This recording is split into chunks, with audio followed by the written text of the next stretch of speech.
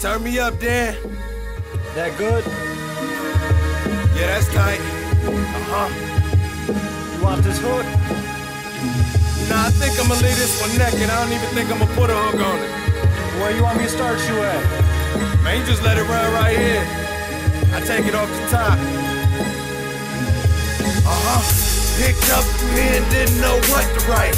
FML, woke up like fuck my life. I mean, I ain't suicidal or nothing, but realizing I was reckless, lot of fucking up. Like Jay, it was good just a week ago. Now I'm walking in some hoop shorts, couple feet of snow. Looking at the church like I need to go. Just like a nigga with a bleed soul.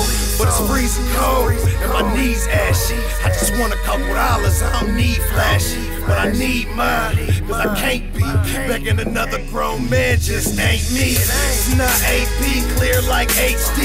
Now I'm going legal, want a feature, gotta pay me.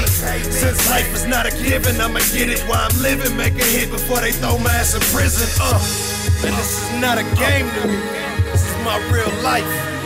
I don't lie on tracks, I don't need to stunt to sound like somebody that you want me to be. I'm cool being me. A lot of these acting ass niggas ain't. Why I say some of the shit I do. This is my real life. A lot of niggas is like, ah, I don't feel that. Cause you don't live it, nigga. They say I got options, I only see a couple. Either rapping or working with a fucking show. But I'm an uncaged pit bull, no muscle.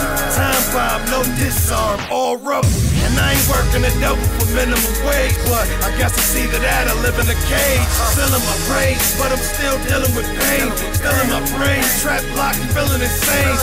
Nothing ever changed, same script, just a different day. Box full of swisher, blowing hate, trying to lift away.